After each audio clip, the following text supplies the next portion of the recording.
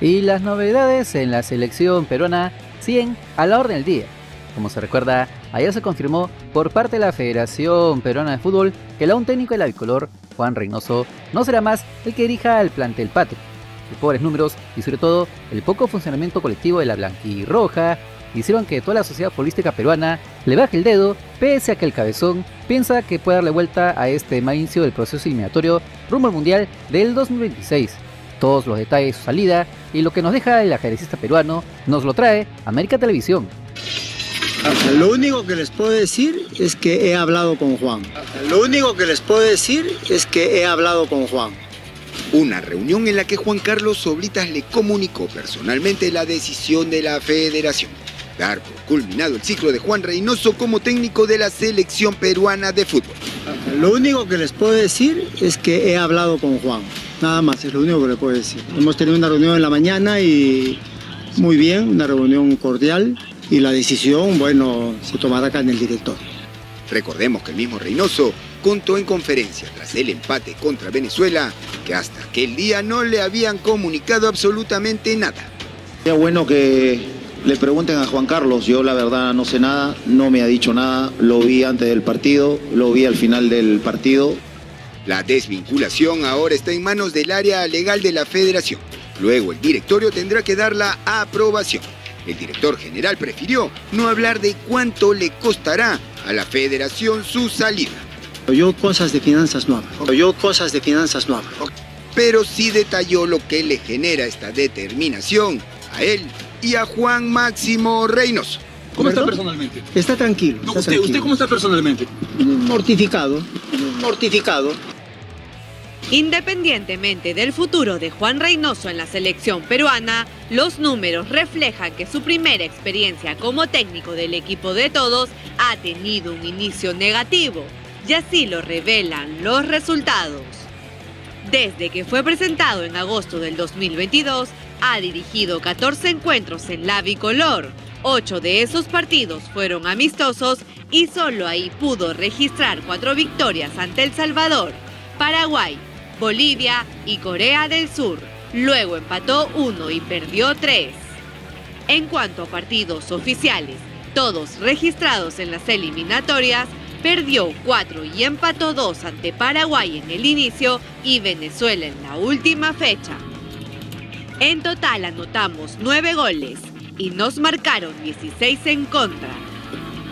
Así cierra el año 2023 y posiblemente sean los números que quedarán registrados en su historia como entrenador de la selección peruana, que estaría cada vez más cerca de llegar a su fin. Tras lo visto, la gran pregunta es, ¿quién vendrá a dirigir a la selección peruana?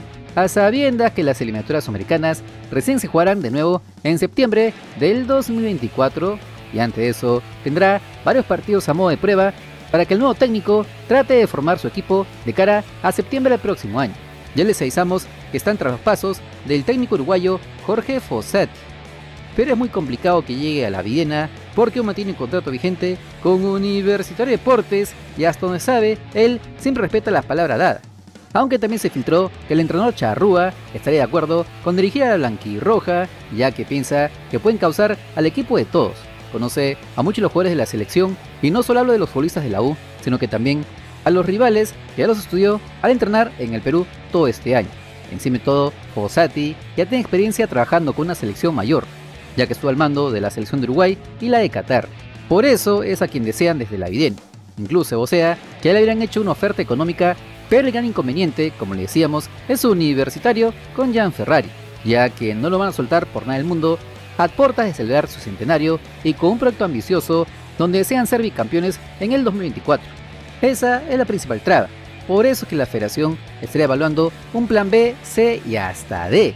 En esta línea se tenía pensado que el director de la unidad técnica de menores de la federación, Guillermo El Solar, se encargue interinamente hasta el siguiente proceso eliminatorio.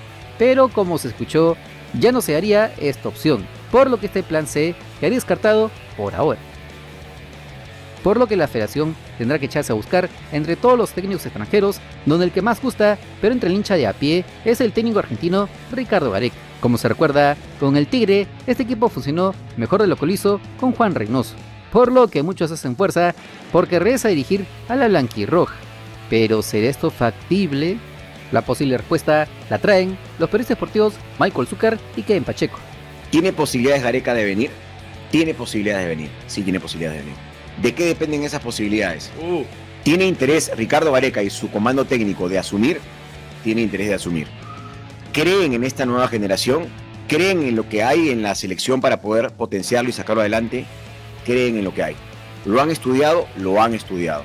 ¿Qué impide un retorno de Gareca? Tiene nombre y apellido y se llama Agustín Lozano. Sí, sí. Gareca quiere, No, y hay su comando cosas. técnico quiere, pero sería bastante contradictorio que después de cómo salió, después de la conferencia que dio, después de cómo lo ninguneó, porque lo ninguneó en la conferencia, un tipo como Gareca y un equipo como el que tiene de trabajo, asuma con el mandato de alguien que no tiene ningún tipo de credibilidad. No tiene cero opción Gareca, ¿no? Para que ya no estén preguntando en la calle, por favor. Cero opción Gareca, ¿no, Kevin? No estoy en condiciones de descartarlo, Alan. Sí me parece que es una situación bien compleja, porque la relación claramente no terminó bien entre Ricardo Gareca y Agustín Lozano, el presidente de la federación. Y es más, hace unos días Juan Carlos Oblitas también señaló que las declaraciones en referencia a Juan Reynoso no habían sido eh, las mejores en ese momento. Que fue O- o las inoportuno, más- inoportuno las más eso, ¿no? oportunas, Sí, claro. claro, claro. Es lo que había señalado. Entonces, tendría que dejarse de lado varios puntos eh, de ambos lados para que esto se pueda dar. Pueda dar. Ok. Hoy parece complicado.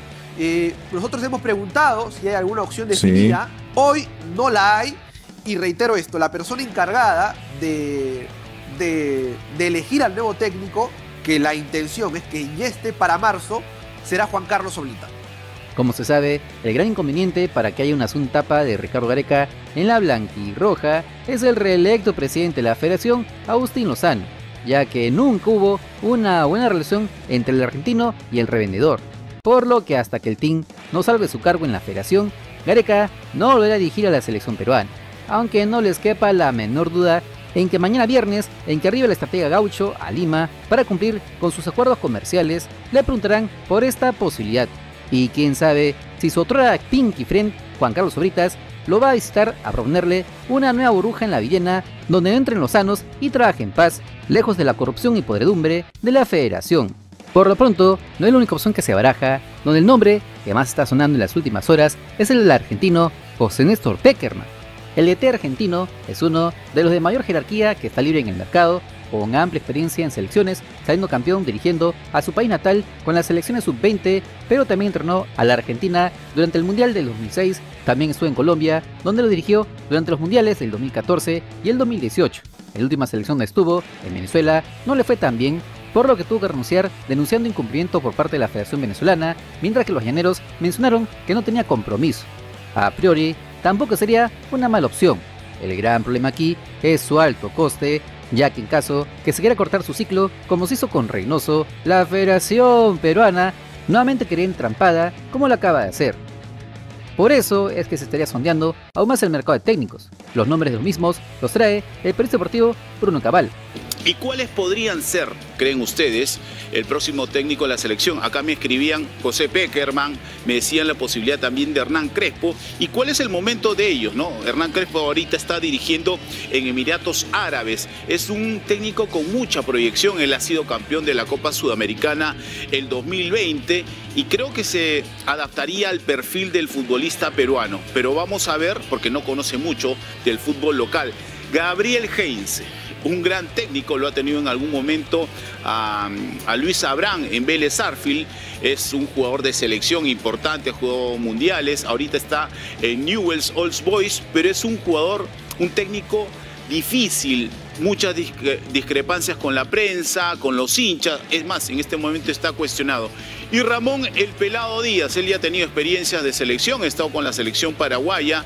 eh, ha tenido una posibilidad de estar cuarto en una Copa América, pero la verdad, él ha dirigido también a André Carrillo, hay que decirlo, en Arabia Saudita. Yo creo que el técnico, el perfil va más con Hernán Crespo que con los demás. Como se puede ver, no es tan fácil la designación del nuevo técnico de la selección, ya que es muy complicado que esta federación metida en problemas legales, sin el dinero para traer un entrenador de jerarquía y que encima de todo tampoco tiene el material humano para convencer a un buen entrenador de dirigir a la peor selección del continente, ya jugadas la cuarta parte de las eliminatorias. Por lo que todo apunta a que Perú tendrá que aventurarse a lanzar la moneda y apostar por un técnico extranjero sin experiencia, pero motivador y sobre todo algo loco, porque debe estar convencido de que por lo menos con lo que tenemos a mano nos puede poner en el puesto de repechaje. Es eso o contratar a otro ET peruano como el Chamo El Solar, Franco Navarro o Roberto Mosquera, donde al menos estos dos últimos tienen contrato vigente con sus clubes en la Liga 1. Ya pintada toda la cancha, queremos tu opinión. ¿Quién crees que debería ser el técnico de la selección peruana? Ya sabes que los comentarios son todos tuyos. No te olvides que si quieres estar enterado de las últimas novedades de nuestro balompié, solo suscríbete al canal porque somos el canal del fútbol peruano. Si te gustó el video de like, comparte, suscríbete con la campanita. Nos vemos en el siguiente video. ¡Chao!